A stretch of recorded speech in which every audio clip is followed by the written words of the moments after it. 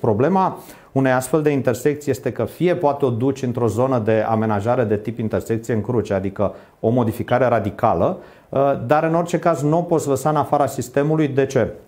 Pentru că dacă o intersecție de pe un aliniament, de pe un bulevar mai lung rămâne necoordonată, în care nu se, cunosc, nu se culeg datele, practic uh, sistemul nu va putea să optimizeze intersecțiile vecine, pentru că nu va ști de fapt câte mașini vin din acea intersecție, da? pentru că de acolo intră și din lateral, iar el va înțelege că pleacă, nu știu, 120 de mașini și când din nou citește ce se întâmplă în intersecția vecină, constată că vin 240 și atunci predicțiile sunt greșite. De aceea spunem că acea intersecție este uh, complicată, urmează să fie pornită cu niște actualizări, cu niște modificări. Noi considerăm că este o soluție care trebuie un pic îmbunătățită uh, în etapele următoare prin diverse actualizări. Dacă uh, afectează în vreun fel sau influențează în vreun fel sau altul um, bunul mers al sistemului pentru restul intersecțiilor, faptul că această intersecție în momentul acesta nu funcționează așa cum trebuie.